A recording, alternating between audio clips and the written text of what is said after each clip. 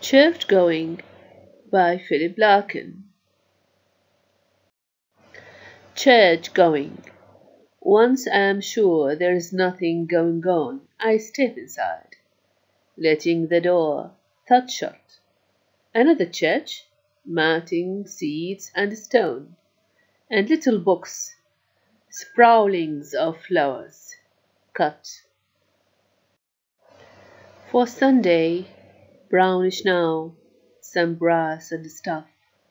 Up at the holy end, the small neat organ, and a tense, musty, unignorable silence. Proud God knows how long. Hatless, I take off my cycle clips in awkward reverence. Move forward, run my hand around the font. From where I stand, the roof looks almost new, cleaned or restored. Someone would know. I don't. Mounting the lectern, I peruse a few hectoring large scale verses and pronounce here endeth much more loudly than I had meant. The echoes snigger briefly.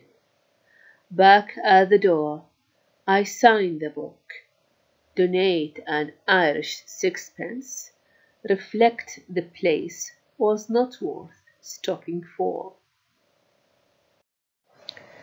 Yet, stop I did. In fact, I often do, and always end much at a loss like this, wondering what to look for, wondering, too, when churches will fall completely out of use, what we shall turn them into, if we shall keep. A few cathedrals chronically on show their parchment, plate, and pyx in locked cases, and let the rest rent free to rain and cheap. Shall we avoid them as unlucky places? Philip Larkin is uncertain. He suffers skepticism. He no more has faith in church or religion or God.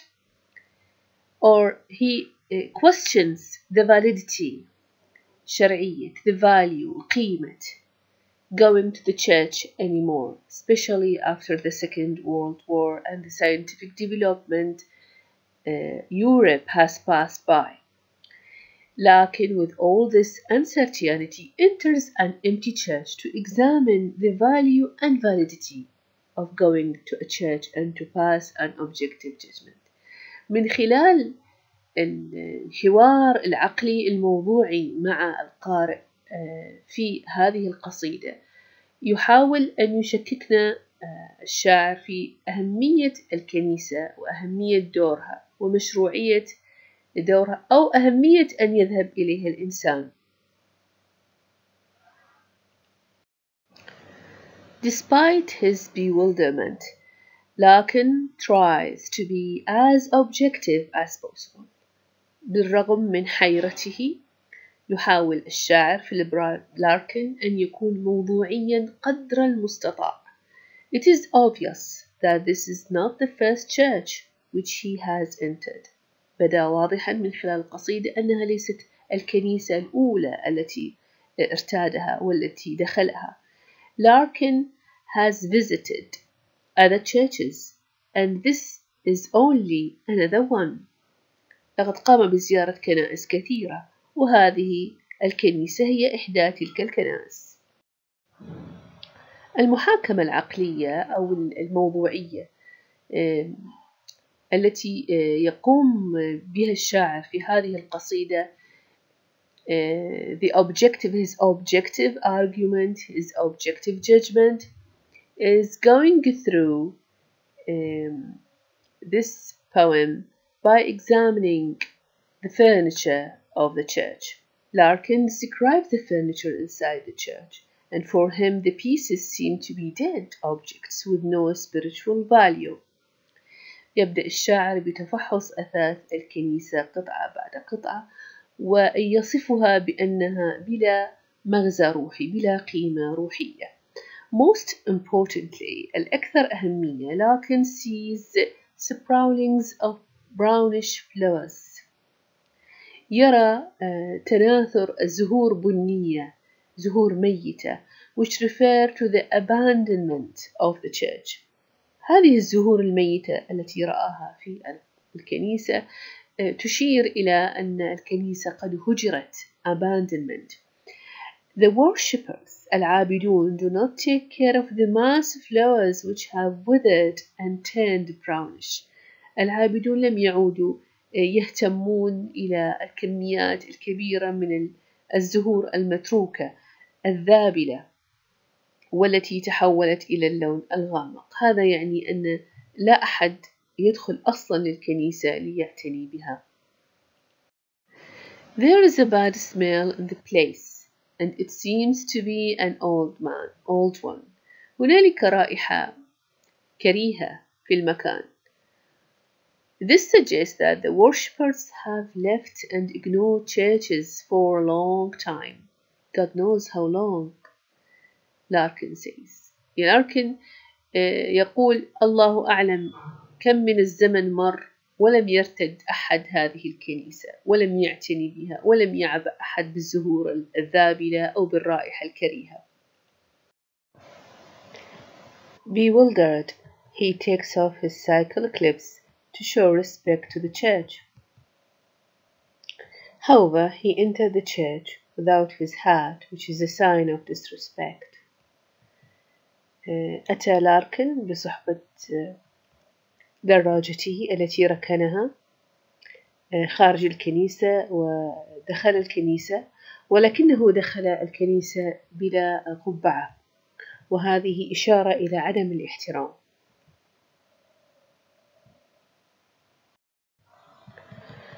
Larkin touches the baptismal basin, but it does not touch his soul. عند ارتياده للكنيسة لمس لاركن حوض التعميد ولكن ذلك لم يمس روحه لم يشعر بأي لمسة روحية في ذلك Then he looks at the new roof and asks whether it is cleaned or restored. His question has a deep meaning because a cleaned roof means that a caretaker is paid money to clean it, while a restored roof indicates worshippers' genuine interest in taking care of the church. The poet does not know the answer because he is not a regular churchgoer. تساؤل الشاعر فيما لو كانت هذه الرفوف قد تم تنظيفها أم تجديدها؟ له أهمية. فإن تنظيف هذه الرفوف يعني أن هنالك عامل يدفع له ليقوم بعملية التنظيف. أما تجديدها فيعني أن الناس أنفسهم الذاهبون إلى الكنيسة يقومون بتجديد أثاث الكنيسة بأنفسهم وهذا يعني أن المؤمنون كثيرون. على أن الشاعر لم يستطع الإجابة. على هذا السؤال لأنه هو نفسه لم يكن ممن يرتاد الكنيسة بشكل منتظم Larkin performs the rest of the religious rites before he passes his judgment.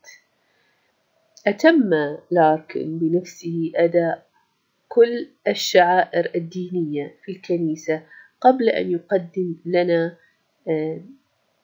رأيه الأخير حكمه على الموضوع. He ascends the lectern. صعد اعتلى لاركن من طاولة قراءة الكتاب المقدس and reads some verses from the Bible and concludes his sermon with Hear Anth, which he pronounced in a loud voice. قرأ في الكتاب المقدس ووقف عند قوله Hear Anth هنا ينتهي والتي قرأها بصوت عالي Hear Anth does not only indicate a sermon's end ولكن تعني أيضا but it also suggests the end of the traditional concept of religion بقوله here ends هنا لا يعني نهاية تلاوته لحصته من للحصة من الكتاب المقدس ولكن تعني كلمة here ends أو عبارة here ends نهاية المفهوم نهاية المفهوم التقليدي للدين في المجتمعات الأوروبية. Before leaving, Larkin signs the book and donates an Irish sixpence. تبرع وقع الكتاب وتبرع ب sixpence أيرلندية. He chooses this little amount of money to suggest that religious donations are useless. هذا المقدار البسيط من المال يعني أن التبرعات الدينية لا طائل منها. The poet states that the church does not worth stopping for. أن الكنيسة لا تستحق الوقوف عندها أو الوقوف لها. He says so because he views the church as a building and not as a spiritual place. قال ذلك باعتبار أن الكنيسة هي بناية وليس مكانا روحيا. The church does not touch his spirit. لم تمس الكنيسة روحه. أي أن مهمة الكنيسة في أوروبا يفترض أن تكون هي مهمة روحية ولكنها فقدت هذه المهمة بحسب الشاعر. Finally, Larkin emphasizes that though the church does not worth stopping for, he often visits churches. في النهاية يقول للشاعر بالرغم أنها من أن الكنيسة لا تستحق أن نقف عندها إلا أنه غالبا ما يرتادها. This is not an atheist attitude. بالطبع هذه ليست نظرة إلحادية. لكن is a skeptic هو متشكك who seek, seeks to reach the truth behind church going and usually ends up at loose. لكن متشكك وليس ملحدا هو يتفكر في جدوى الذهاب إلى الكنيسة ولكنه ينتهي ضائعا He contemplates the future of abandoned churches, Expecting that some big churches, cathedrals, might be kept as museums due to their grand shapes and precious relics. يتفكر لاركن في مستقبل الكنائس وخاصة الكبيرة منها وهو ما تسمى بالكاتدرائيات وكيف أنها ستتحول إلى متاحف بسبب شكلها المهيب وآثارها الثمينة. He also expects turning them into free shelters to sheep in rainy days. يتوقع لاركن أن تتحول الكنائس إلى ملاجئ للحيوانات في الأيام الماطرة. He believes that people in the future might avoid churches as creepy places because they contain graveyards. كما يظن أن الناس سوف يتجنبونها باعتبارها أماكن مخيفة بسبب المقابر. By the end of the poem, it is implied that man needs a serious place on earth to satisfy, to satisfy his spiritual needs and answer his metaphysical questions. Science and technology have failed to satisfy man's spiritual needs. في نهاية القصيدة الشاعر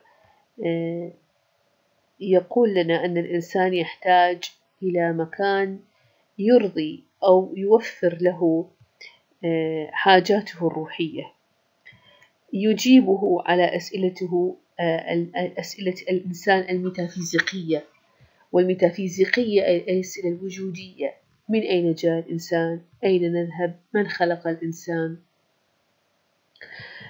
ما هو مصير الإنسان بعد الموت؟